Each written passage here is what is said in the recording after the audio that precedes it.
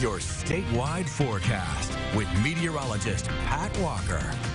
Welcome back to Arkansas today. Well, a little disturbance making its way into northwest Arkansas produced some of these thunderstorms we had this morning in west Arkansas, and they raced or pushed all the way across south Arkansas this morning, and now they're exiting out of far southeast Arkansas. But the disturbance is still there. It's fired up again. Some new thunderstorms just west of Fort Smith and even some well out ahead of that uh, into the Ozarks. So in Fort Smith now, no rainfall yet, but some just across the state line. Getting a couple of these showers popping up in southeastern Washington County, southwestern Madison, uh, well south of Fayetteville.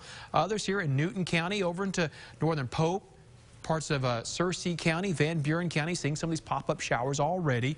Nothing much here in Little Rock, and of course those morning storms from west Arkansas pushed all the way down into southeast Arkansas. Now we're looking at them exiting even out of Chicot County into Louisiana and into Mississippi. Here's the path of that rainfall from these morning showers and storms right through south Arkansas.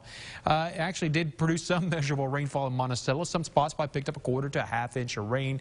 Most locations didn't. Fort Smith did see a little rainfall earlier today at 700s. But look at this.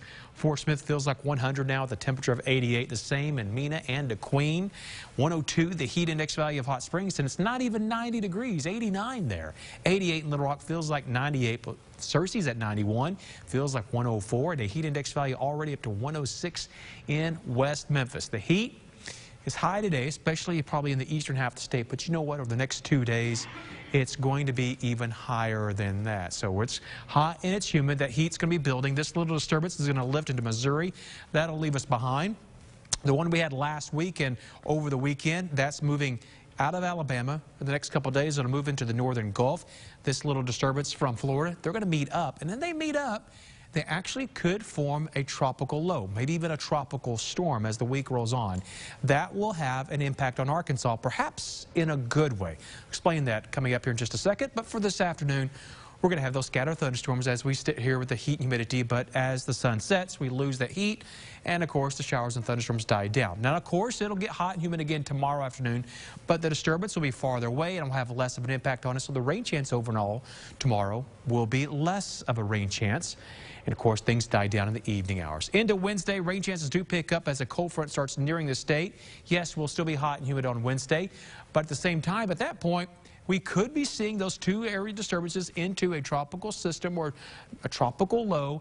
And what that's going to do as it moves its way along the Gulf Coast, it's actually going to pull air in off the continent. That'll allow a cold front that gets to Arkansas, not just to get to the Ozarks and sit and stall out, but actually it looks like Wednesday night or Thursday morning, it will push through and bring some cooler and drier air into the state.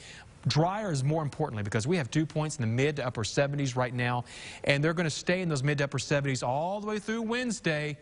But look at this. By Thursday, here we go. Some 60s start sneaking in Thursday, and by Friday morning, the entire state could have dew points out of the 70s into the 60s. Still humid, but a lot less humid than what it is right now. That is your statewide forecast. Now, here's your local one.